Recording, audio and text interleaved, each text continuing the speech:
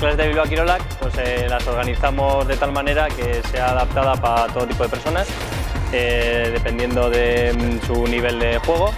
empezaremos con iniciación, eh, es gente que empieza desde cero, y luego tenemos nivel intermedio y avanzado. Nivel intermedio es que están ya un poco, el nivel es un poco avanzado, pero todavía no dominan. Y el nivel avanzado es gente ya que va dominando el juego desde hace varios años y ya domina derecha, reveses y todo tipo de golpes. Organizamos la clase eh, dependiendo del mes en el que esté.